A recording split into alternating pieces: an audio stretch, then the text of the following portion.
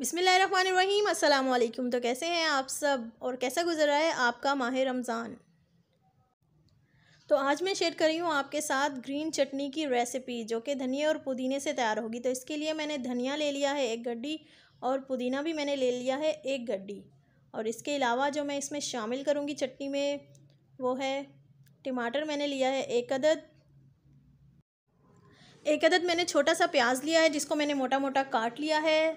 नमक मैंने लिया है हाफ़ टी स्पून हरी मिर्च तीन अदद ली है मैंने, लहसुन मैंने लिया है चार से पाँच जवे और ज़ीरा हाफ़ टी स्पून और पानी इसमें मैं ऐड करूँगी four to five tablespoons तो चलें, अब बिना टाइम वेस्ट किए चटनी बनाना स्टार्ट करते हैं और ये चटनी बनेगी ग्राइंडर में। अगर आप चाहें तो आप इसे सिल पर भी पीस सकते हैं, लेकिन मैं इसे बनाऊँगी ग्राइंडर में। तो यहाँ मैंने धनिए और पुदीने को अच्छे से वॉश कर लिया था और अब मैंने इसमें ग्राइंडर में डाल दिया है धनिया, पुदीना और उसके बाद मैं इसमें ऐड करूँगी प्याज, जो कि मैंने मोटी मोटी काट ली थी।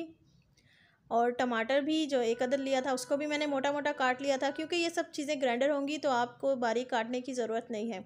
इसके बाद मैं इसमें नमक ग्रीन चिली ज़ीरा और लहसुन, ये सब भी ऐड कर दूँगी।